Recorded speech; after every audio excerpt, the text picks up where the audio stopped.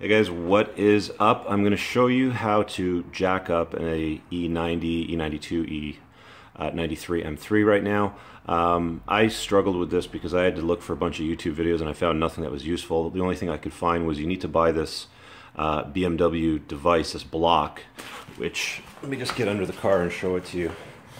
Basically goes inside the jack points, which are right here and it's a little plastic thing that goes inside the jack point. Um, and then you basically jack up from this thing. Now, it's a Sunday. Uh, the BMW dealers are closed, and I said, fuck it, I'll figure it out myself because I'm an entrepreneur, and we'll get to the bottom of it. So, I'll show you how to jack up your car without that stupid BMW accessory. I started with a, um, uh, I guess this is a 2 by, or sorry, a 1 by 6 basically a, a, a piece of um, fence wood. So I just cut it, uh, made it as small as possible, and um, I tried to use that to jack up. Now the problem that I encountered as I started to lift the weight of the car, this car is 4,000 pounds, so it's a heavy pig. Um, it started to crack and make the kinds of sounds that you would expect wood to just buckle and disintegrate. So I wasn't comfortable with continuing because I definitely didn't want the car to fall down and damage it. So I went and looking for a 2x4 and that solved the problem. The only thing was I had to take this thing off which actually fit nicely and firmly in here once I got it on. And then you can see the weight of the car, um, just focus that, the weight of the car also imprints in the wood that way. So this is by far too thin uh, to use to jack up the car. But if you take this little this little um, device out, some of them have a, uh, a C-clip pin in them, which I had to pull out, but they'll either unscrew out or you can pop them out.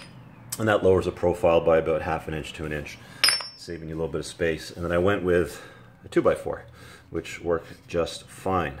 So you just basically uh, center it on the circle, the imprint, which will balance it nicely. Uh, and this part over here doesn't really matter so much, but once you start jacking up the car, it'll it'll compress the wood uh, to start taking on the weight. So um, I'm going to stop the video, just move it over, and I'll show you um, how that works in a second. It's a slight problem with the 2x4 is it is very, very snug to get in there. So I needed a rubber mallet to kind of tap it in to center it nicely. And you can see there that the, um, the jack point is nicely centered under that plastic bit. Um, I don't know why BMW makes shitty ass jack points like that, but anyway, it's nicely centered. I just had to tap it in gently with this mallet. Um, I suspected that it was going to be a tight fit, so that's why I put a piece of wood under the rear tire just to kind of you know, get a little bit of lift under the car so I could get it in there. Now before you jack up your car, you're going to want to loosen the lug nuts. Anyway, so you're going to need a torque wrench to loosen the bolts off. I'm working with one hand here. Um, you just want to gently loosen them. Not so that they're going to come off, but you're going to loosen them in a pattern that goes in a star. So you're going to go here to here, from here to here, from here to here, and from here to here.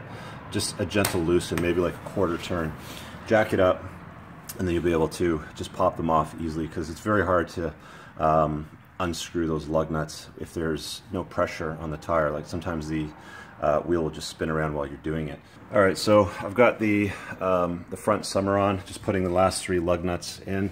You notice with BMWs, um, you don't hang the wheel um, off the lug nuts like on most conventional cars. Like Japanese cars will always have the lug nuts on the, the rotor, and you just kind of pop it on. Here, there's a little hub-centric kind of ring that the uh, rim will sit on. And you just have to line up the, the holes for the lug nuts. And then you put them in a, a star pattern again. So here, start here, this next one will go in here.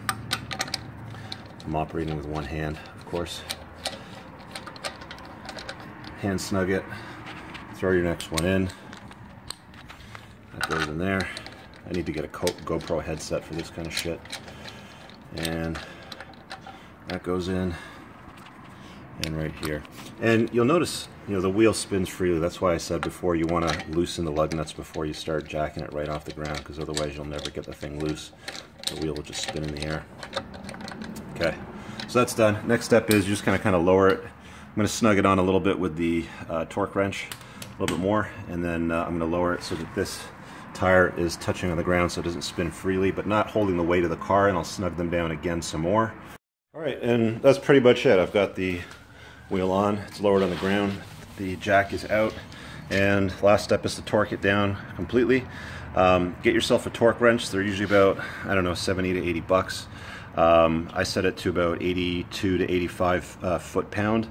And these things are fairly simple. You just give them a push down, and when you hear that clicking sound, you know you've applied the right, sorry, the right amount of torque. Again, feel that again, and you start across to the next position, and that's it.